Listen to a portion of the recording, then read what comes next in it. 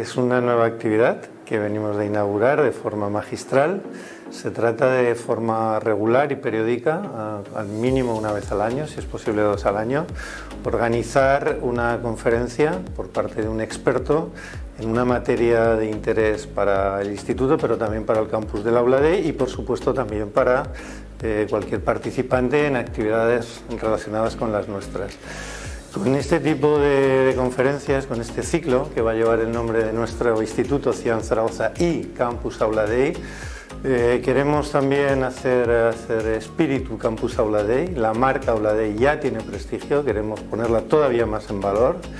y queremos ponerla en valor en actividades relacionadas con nuestro núcleo duro. Nosotros somos gestores de actividades de formación, de proyectos y de cooperación al desarrollo. Y queremos también que personas que no pueden venir físicamente en cualquier país, por eso las vamos a hacer también siempre interpretadas en inglés, pues nos puedan seguir, nos puedan conocer y un día participar presencialmente en alguna de nuestras actividades. Creemos y creo que hay muchos campos de conocimiento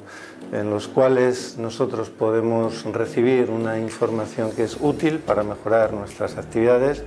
y por tanto creo que estamos en una buena posición para invitar a todas aquellas personas como José Miguel Carot, que ha sido nuestro primer ponente, el que ha inaugurado este ciclo, para que vengan a compartir con nosotros pues, una dilatada experiencia, un conocimiento muy profundo del que nosotros podemos extraer eh,